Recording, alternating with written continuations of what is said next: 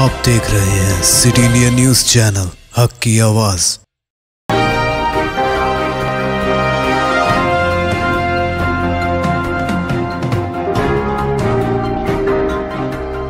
अस्सलाम वालेकुम मैं हूँ Sheikh Umar City India News में आप तमाम का खैर मकदम है। आइए देखते हैं रियासती खबरें। कांग्रेस में जारी कश्मकश के दरमियान पार्टी के सबक राज्यसभा एमपी और Telangana Congress leader M A Khan ने हफ़्ते को पार्टी से इस्तीफा दे दिया। पार्टी हाईकमान के नाम अपने ख़त में उन्होंने कहा कि पार्टी आवाम को ये बावर कराने में मुकम्मल तौर पर नाकाम रही है कि वो अपनी पुरानी पोजीशन पर वापस आएगी और एक बार फिर मुल्क की क़्यादत करेगी। उन्होंने कहा, जब आप पार्टी के सदर के तौर पर फ़ाल तौर पर खिदमत अंजाम दे रहे थे, आपने पार्टी के अंदर मुशावरत के अमल को एहतियात से पैरवी किया। आपने सीनियर रहनुमा की राय को बहुत अहमियत दी है, जिन्होंने कई दहाइयों से पार्टी को अपना ख्याल रखा। वक्फशुदा ज़िंदगी, पार्टी अब भी मज़बूत है और मुल्क की बेहतरी के लिए लड़ने की सलाहियत रखती है। उन्होंने ये भी कहा कि वो तालब इलमी के ज़माने से ही पार्टी से वाबस्ता हैं। खान ने कहा, सीनियर लीडर पार्टी से मुस्तफ़ी होने पर मजबूर हैं, क्योंकि अली क़्यादत पार्टी के निचली सतह के कारकुनों को दोबारा मुतहरक करने की कोई कोशिश नहीं कर रही है और ना ही पार्टी इस अज़म के साथ काम कर रही है, जिसके साथ पंडित नेहरू, इंदिरा गांधी, संजय गांधी और राजीव गांधी करते थे। ऐसे में मेरे पास पार्टी से अलग होने के अलावा कोई चारा नहीं था। कर्नाटक के रायचूर से मुतल चीफ मिनिस्टर के के बयान ने दोनों रियासतों में नया तनाज़ा पैदा कर दिया है। चीफ मिनिस्टर कर्नाटका बिस्वराज बोबई ने के सी आर की तजवीज़ पर बरहमी का इजहार करके वाजह कर दिया कि कर्नाटका की सरजमीन का एक इंच हिस्सा भी तेलंगाना के हवाले नहीं किया जाएगा। वाजह है कि चीफ मिनिस्टर तेलंगाना के सी आर ने कहा था कि सरहदी ज़िले रायचूर अगर तेलंगाना में जम किया जाए तो वो तरक्की कर सकता है। बिस्वराज बोबई ने के के बयान पर बरहमी का इजहार किया और कहा कि के ने हदूद से तजावज़ करने की कोशिश की है। चीफ मिनिस्टर के सी आर के बयान को मुझे खेस करार देते हुए बिस्वाराज बोबई ने कहा कि रायचूर में थर्मल प्लांट और एयरपोर्ट है। इसके अलावा कई तरक्याती प्रोजेक्ट्स जेर दौरान हैं। मैंने Kalyan Karnataka region development board के ज़रिए फ़ंड्स अलॉट किए हैं।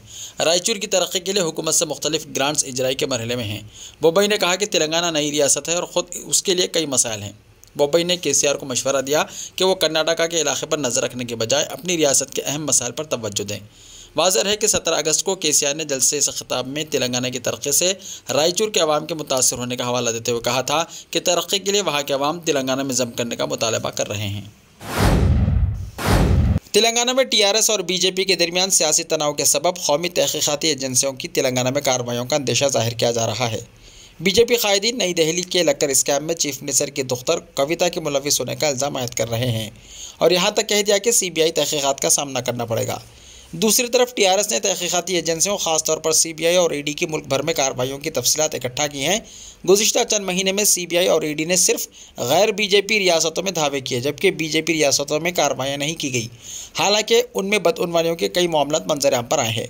टीआरएस की मुफसला तफसीत के मुताबिक, ईडी और सीबीआई ने ऐसे मौके पर कार्रवाइयों का आगाज़ किया, जब मरकज़ से गैर बीजेपी हुकूमतों की कशीदगी में इजाफा हुआ। बिहार में सीबीआई ने 18 मई को आरजेडी, सरबरा, लालू यादव के खिलाफ 25 मुकाम पर धावे किए। लालू प्रसाद और उनके अफराद ख़ानदान पर रोज़गार की फराहमी मामले में बेकायदगियों का इल्ज़ाम है। ये धावे उस वक्त किए गए जब नीतीश कुमार ने बीजेपी का साथ छोड़कर आरजेडी से मुफाहमत की।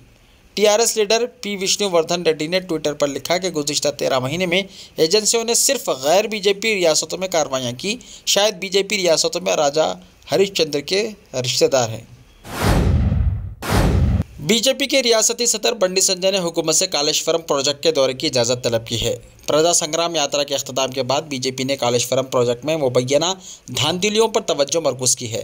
बंडी संजय ने चीफ सेक्रेटरी सोमेश कुमार को लेटर रवाना करते हुए बीजेपी वफद को दौरे की इजाज़त देने की ख्वाहिश की, जिसमें अरकान पार्लियामेंट अरकान असम्बली और कायदीन पर मुश्तमिल जुमला तीस रुकनी वफद रहेगा। लेटर में कहा गया है कि प्रोजेक्ट की तमीर के सिलसिले में बीजेपी कायदीन तफसीत हासिल करना चाहते हैं। सितंबर 2004 के दरमियान जला यज्ञम प्रोग्राम पर तनखेदों के बाद उस वक्त की हुकूमत ने अपोजिशन को दौरे की इजाज़त दी थी। सोमेश कुमार से अपील की गई कि वो महकमे आपाशी के अहदेदारों को बीजेपी वफद के साथ रवाना करें ताकि शुभात का इजाला हो सके। हिंदू बुनियाद परस्त तंजीमों की जानब से पीर को रियासत भर में एहतजाज का ऐलान किया गया। बजरंग दल विश्वा हिंदू परिषद और दीगर तंजीमों की जानब से कोठी और दीगर मकाम पर एहतजाज किया जाएगा। बजरंग दल और वी एच पी ने हुकूमत पर इल्ज़ाम आयद किया कि मुखालिफ हिंदू ताकतों को रोकने में हुकूमत नाकाम है। राजा सिंह के बयान के बाद कई मुस्लिम नौजवानों ने ज़बरदस्त एहतजाज किया था, जिसके नतीजे में राजा सिंह को पी डी एक्ट लगाकर जेल भेज दिया गया। हालिया दिनों की सूरत हाल में मुसलमानों ने हिंदुओं को इश्तियाल में लाने की कोशिश की और पुलिस खामोश तमाशाई रही। विश्व हिंदू परिषद जिम्मेदारान ने बयान में कहा कि हैदराबाद में फ़िरका तशद का मनसूबा था और हैदराबाद एमपी ने पुलिस में गिरफ़्तार कई नौजवानों को रिहा करवाया, जबकि इश्ताल अंगेज बयान पर कांग्रेस लीडर्स फिरोज़ खान और राशद खान पर कार्रवाई का मुतालबा किया गया। वज़ीर आई टी के भी अहदे से बरतरफ करने का मुतालबा किया गया, चूँकि हिंदू देवताओं के बारे में गलत बयानी करने वाले मुनवर फारूक का शो करने की इजाज़त दी गई। पीर के एहतजाज से सबको पता चलना चाहिए कि रियासत के तमाम हिंदू मुतहद हैं और धर्म का तहफ़ करने हर मुमकिन कोशिश करेंगे। तेलंगाना हाईकोर्ट ने चीफ मिनिस्टर आंध्र प्रदेश जगन मोहन रेड्डी को गैर महसूब असाजात केस में शख्सी हाजिरी से छूट दे दी है। जगन मोहन रेड्डी सीबीआई कोर्ट में बाहर समात के मौके पर मौजूदगी से इस्तना की दरख्वास्त दायर की थी। चीफ जस्टिस उज्जवल भोयान की जेर क्यादत बेंच ने उमूमी इस्तना को मंजूरी दी और कहा कि जिस दिन सीबीआई अदालत में मौजूदगी को ज़रूरी समझे, उस वक्त जगन को हाजिर होना चाहिए। सीबीआई अदालत ने जगन को हर समात पर शख्सी तौर पर हाजिर के लिए पाबंद किया था। चीफ जस्टिस ने कहा कि दरख्वास्त गुजार पर फिलवक्त इल्ज़ाम हैं और यह कहा नहीं जा सकता कि दरख्वास्त गुजार ने गलती की हो। चीफ जस्टिस ने कहा कि एक ट्रायल कोर्ट ने आंध्र प्रदेश में मुहिम जगन को हर समात के मौके पर हाजिर की जो हिदायत दी है, वो मुनासिब नहीं है। चीफ मिनिस्टर की हैसियत से उन्हें अपनी रियासत के लिए चौबीस घंटे काम करना पड़ता है। दोनों शहरों के अलावा अजला में आइंदा दो दिनों में महकमे मौसमियात ने बारिश की पेशकशी की और कहा कि गुजशत दो दिनों से जारी गर्मी से कुछ राहत का इम्कान है। शहर में रतूबत में इजाफे के सबब शहरियों को इंतहाई गर्म मौसम का सामना करना पड़ रहा था। बताया जाता है कि तेलंगाना, कर्नाटक और महाराष्ट्र के बाज़ इलाकों में गुजशत चंद दिनों से दर्ज हरारत छत्तीस डिग्री से पार करने के बाद मौसम गर्म हो गया था। महकमे मौसमियात के मुताबिक तेलंगाना में दर्ज हरारत में इजाफे के साथ रतूबत में इजाफे से मौसम में गर्मा का एहसास होने लगा था। और अब आइंदा दो दिनों के दौरान मतला बार आलूद रहने के अलावा बाज़ मकाम पर मौसलाधार बारिश के इम्कान ज़ाहिर किए जा रहे हैं, जबकि बाज़ इलाकों में हल्की और तेज़ बारिश के इम्कान पाए जाने लगे हैं। दोनों शहरों हैदराबाद और सिकंदराबाद के इलाकों में गर्मी की शिद्दत में रिकॉर्ड किए जाने वाले इजाफे के सबब शहर के मसरूफ़ तरीन सड़कों पर ट्रैफ़िक बरए नाम देखी गई और तातील के बावजूद सयाहती मकाम पर भी गहमा गहमी नहीं रही। ऐसे ही ताज़ा तरीन खबरों के लिए देखते रहिए सिटी इंडिया टीवी तो मिलते हैं कल तब तक के लिए अपना ख्याल रखिए अल्लाह हाफिज़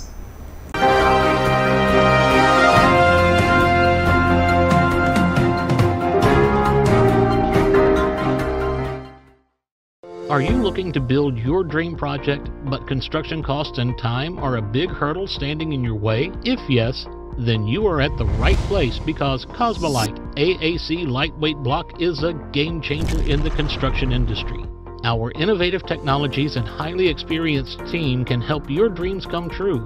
With our proven strategies, Cosmolite AAC block cuts down the requirements of steel and cement by 20% saving 30% on construction costs and reducing construction time by 25%. Major builders and contractors have already switched over to Cosmolite AAC blocks because of the structure saving acoustic insulation, faster construction, lightweight, waterproof workability and flexibility, earthquake resistance, and pest resistance. Cosmolite is all set to emerge as South India's most preferred brand in AAC lightweight block. So, what are you waiting for?